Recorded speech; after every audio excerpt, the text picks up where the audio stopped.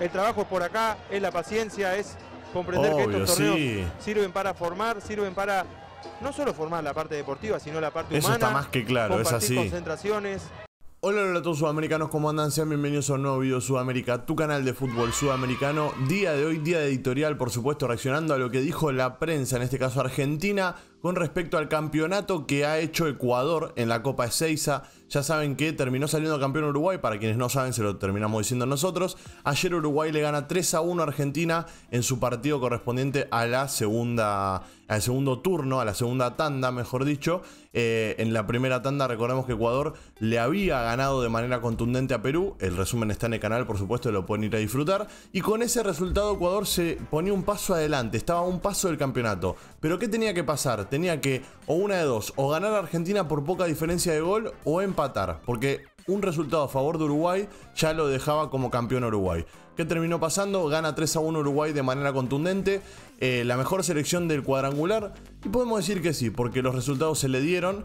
Pero yo lo que quiero decir es que en cuanto a fútbol y en cuanto a cómo ha jugado cada selección, me parece que Ecuador estuvo un escaloncito por demás, eh, por encima de las demás selecciones. Y también está claro que esto va a ser preparativo o preparatorio para lo que va a ser en marzo el sudamericano. Que por supuesto lo van a disfrutar acá en la pantalla de Suda, porque siempre estamos ahí analizando y reaccionando a las selecciones, no solo mayor, sino también a las inferiores. Antes vamos a tener el mundial, claro que sí, pero bueno, ya les voy avisando que en marzo del año que viene va a estar el sudamericano y como siempre vamos a estar cubriéndolo.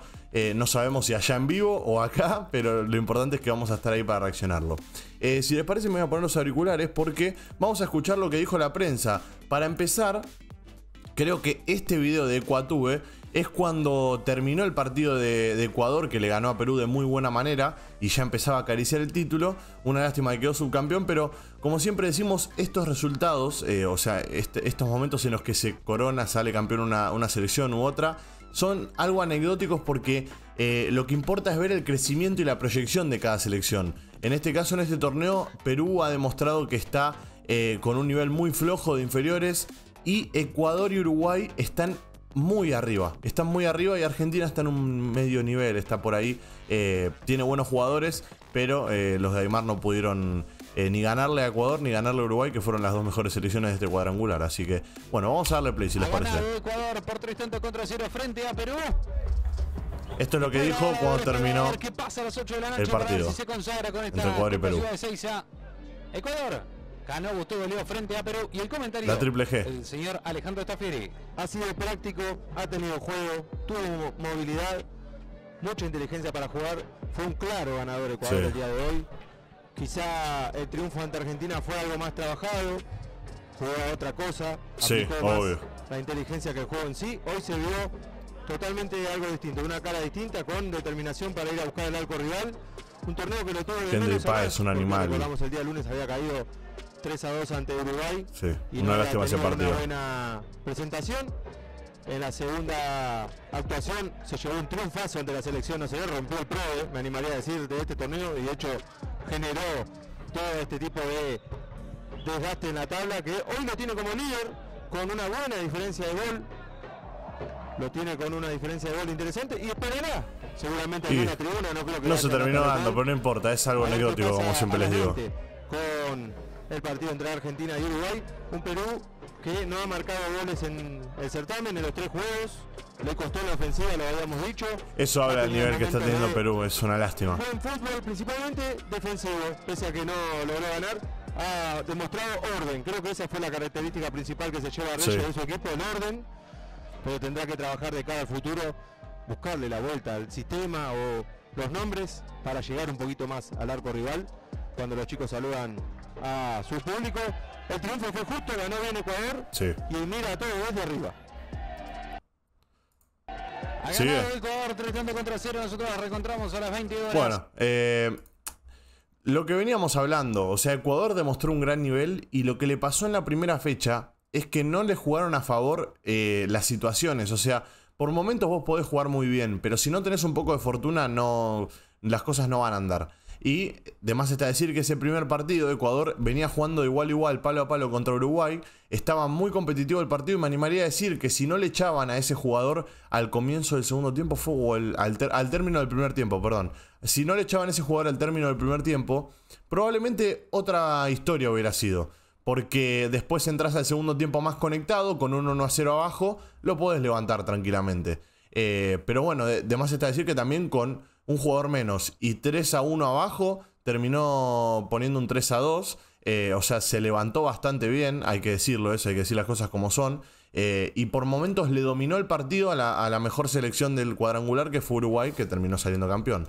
Eh, y bueno, y ahora vamos a ver lo que dijeron con respecto a la selección ecuatoriana en el partido entre Uruguay y Argentina, que ya saben que este terminó 3 a 1, así que vamos a verlo. Un elenco dirigido por Diego de Marco que fue el más regular de los cuatro, evidentemente. Por Es algo se Diego de. Marco, Y técnico de Argentina Uruguay. que no pudo aprovechar esos momentos y termina pagando el resultado. Cae Argentina derrotado frente a Uruguay. Por en medio consigue la falta Cuña. Tiro libre para la selección que buscará al menos de contar. La puntea el colaborador, mira vos, hay que darle una pelota a toda costa. Hay tres pelotas dentro de la cancha, a ver qué hacemos. Se juega el tiro libre rápido para Blum. Blum que viene con el balón. Se viene Blum, hay dos pelotas dentro de la cancha. Blum que iría a colocar el centro. Señores, Bueno, está, señores. Uruguay, campeón. Victoria de la selección de Diego de Marco sobre la de Pablo Aymar. Victoria de Uruguay por tres tantos contra uno frente a la Argentina. Los chicos Merecido. de la selección uruguaya, sub-17, se han quedado con esta Copa Ciudad de Seiza, con este cuadrangular. La victoria es de Uruguay por tres tantos contra uno, con dos goles de Dudok y uno para finalizar de Ureta. El primero del partido había llegado Encima de ya penal venía de una gira muy buena de Uruguay. Eh, la Copa de manera se va para internacional. Uruguay. El clásico fue para la selección para la selección Charrúa, perdón, Charrúa. que le ha ganado a la Luis Arreste por tres tantos contra uno. El comentario es de Alejandro Tafieri. Y le ganó bien, por practicidad, Sí. por inteligencia, por momentos. Uruguay tuvo su plan bien ejecutado. ¿Cuál fue su plan bien ejecutado? Defender en zona baja, tratar de cerrarle los caminos a los que mejor manejan la pelota. De esa manera Argentina, ante la obligación de tener que conseguir un resultado a favor, con el correr de los minutos fue perdiendo la Sí, paciencia. jugó con la desesperación, claro. de Eso es justamente lo que iba a decir. De esa manera Juega con la desesperación de Argentina en y terminó ganando el partido de manera inteligente Uruguay. Siempre jugó los tres partidos de de manera muy inteligente. de Echeverri para No entiendo qué pasó contra Perú, que empataron 0 a cruzado 0, de pero bueno, es así, el fútbol es Y en así. complemento ya con espacios y Argentina ha volcado al ataque.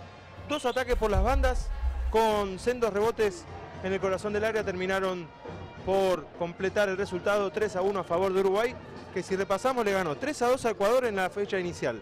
Sí. Igualó 0 a 0 ante Perú y le ganó hoy aquí a la selección Le ganó la- Gran torneo de los A dirigidos los por dos que lo siguen, así que que venían afilados Y luego empató contra el último, eso- eso es Europa, una increíble. gira por Asia, ahí está. la selección Europa y Asia fue la gira que tuvo Uruguay. Merecidamente con aplausos. No ha hecho un mal torneo, quizá le faltó un poquito más de suerte en la toma de decisiones.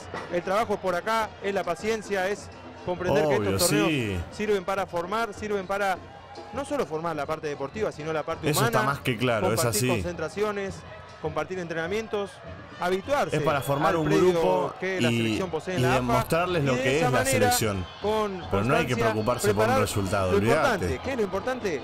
El torneo internacional sudamericano que se jugará en Ahí marzo está, eso es lo que les estaba diciendo en yo. Ecuador y que lo tendrá, lógicamente por historia, a la selección nacional como protagonista.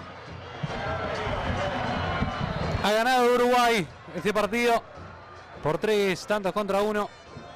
A destacar quizás no solamente el desarrollo del fútbol uruguayo en las juveniles, porque está, viene, no ha sido un torneo tan vistoso quizá para ¿Viste? Uruguay. Eso era lo que desde les lo que estaba por ahí yo. especulaban con ver en campo, ¿no? Si bien ha sido lo que había plasmado fue. Diego de Marco en la previa, que habíamos hablado con él.